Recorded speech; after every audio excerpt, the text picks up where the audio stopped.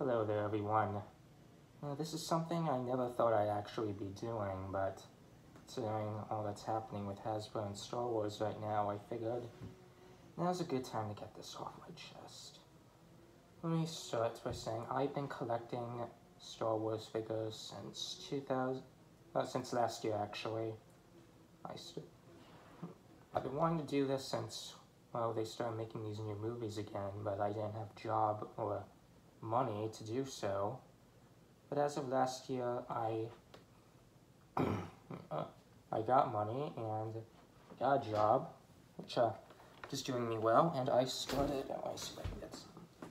I started collecting The Last Jedi figures. Yeah, see, I love this stuff. Despite what people think about the movie, I really enjoy enjoy collecting these figures. Do I have any more of them? No, I don't. I love collecting Star Wars action figures. Like, I collect the, the Kenner figures, I collect the, the modern ones. I love this stuff. Yeah, let's see. I've collected Rebels toys. There's the troop transport here. I can see that. I love collecting the Rogue One figures. There's a Kenner transport with Rogue One stormtroopers. I love this stuff. But uh, I think Hasbro has made some questionable decisions regarding these figures. Mm. Oh, look, look, how should I start this? Uh, I'm doing this unscripted, so uh, forgive me if I stutter a bit trying to discuss this. Where to begin? So when the solo figures were coming out, I was really excited for them. Know, I was really excited to get some of the new characters. You know, let's let's go with some of the new characters. The Mimban Stormtrooper. This is a figure I was really excited for. Yeah. Yeah, but he's hard to find, unfortunately, but I've somehow managed to grab a few of him. Hmm. This, let me close these blinds, there's a little too much light. Oh, you can still see me, good, good. What other new figures do we got? Uh, we got uh, the Imperial Range Trooper, new figure we haven't seen before. We gotta have one. We got Qi'ra from Corellia. No, not a good figure, not a bad figure, but it's a new character, so you got him. It's got we got the Chewbacca from Solo. If you have a Chewbacca, you know, it's cool to have, you then there's some questionable characters that were in Wave 1. This is the Rogue One K2SO, but what I find baffling was they re-released him as part of the solo line of figures. Now, yeah, it's cool that with the Force Link they can talk, but you know, if you already have the figure, why buy another one just to have it talk? You know, doesn't make sense. Hmm. I also find it questionable the only way to get Lando, a major character in the film, is to buy it with a two-pack with the Kessel Guard. Don't get me wrong, these are great figures, I really like them, but I just find it weird you can only get a main character in a two-pack. Maybe Hasbro didn't think this guy would sell. I don't know. Comes with, with this cannon, that's cool, but, you know. Let's go over the Force Link too while I'm at it. Here's the Force Link.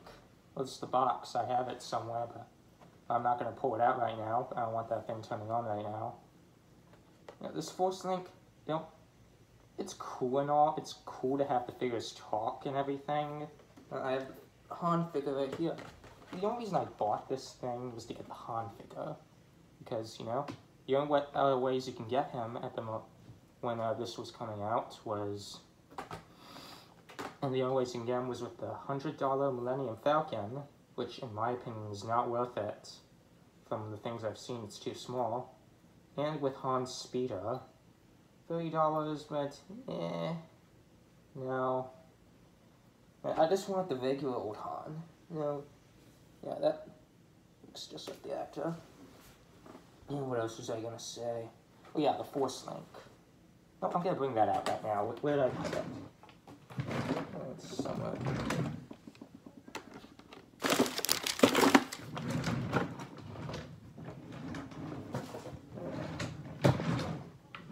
Like, oh, here it is. Yeah, this is the force link. Yeah, cool little piece of technology. It's cool that it can make your figures talk, but this thing, this thing's not perfect. Let's be honest. You use one of these things, you know what I'm saying. Let's test one out. Let's just one out. Alright, let's go with Han. They call me Han Solo. This better be worth it. Okay, stay sharp. Woohoo! I don't run from a fight. Huh. I've got a really good feeling about this. This better be worth it. See, nice little thing, you know, makes figures talk. But this thing's not perfect. No, I wish it... Because sometimes when I use this thing for the figures, you know, I can keep tapping the figure all I want. Sometimes it just shuts off on its own. You know? Hmm, just turned on something, I don't know. Yeah, it just, just stops when, know, we, I really wish she could, uh, uh, forgive me, I'm, I'm doing this unscripted, so I really wish that, uh, I really wish that you could you could choose what the characters say, you know? I know these are like, at the store, like $7 action figures, but I wish they could say more. No, not, not say more, I mean, I wish you could choose what they say when you want to say it. Because if you want to hear them say something again, you just gotta keep tapping the thing. Just keep tapping the thing, hopefully they say it again. Yep. You know? This thing's not perfect. Yep. Paid, paid 25 bucks for this thing. You know? Whatever. Look, I love Hasbro Star Wars toys, but you know, they could be better, especially with this Force Link stuff. Well, I just wanted to get that off my chest. Thank you for watching. Have a good day.